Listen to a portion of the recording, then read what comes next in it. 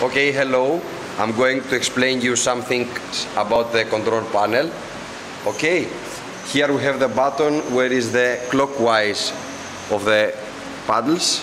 This is the second speed and this is the anti-clockwise. Here is the button stop and this is the emergency stop.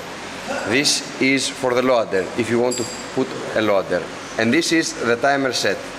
Okay, now if you want to set the timer, you have to press the set button okay?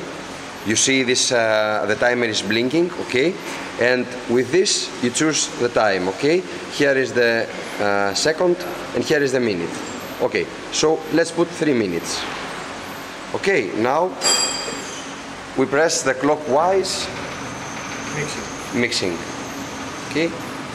Now uh, if you can see the paddles is working clockwise okay and we can choose the second speed. Okay now we are going to see the safety mode. Okay